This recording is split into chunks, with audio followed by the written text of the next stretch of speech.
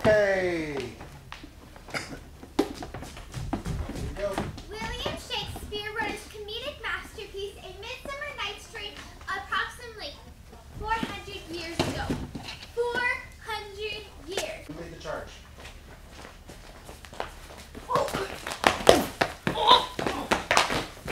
Hey, that was better.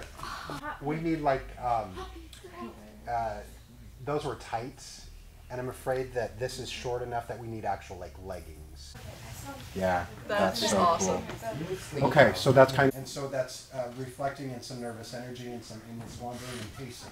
We need to figure all that out, which we will too. Okay, that's where we're at right now. Some few generals. My name is Jeremy Thompson. I'm the Director of Education at the Lakewood Institute of Theater at the Lakewood Playhouse. Today we are asking that you give generously to our Youth Scholarship Fund. This fund does, pri- does provide the opportunity for our students to experience our classes, but there's a lot more going on than just theater. We're talking about confidence, team building, uh, self esteem, things like that. So if you can, please help us out. Give these kids the opportunity to enjoy the wonderful uh, world of theater. If we shadows have offended, think but this, and all is mended.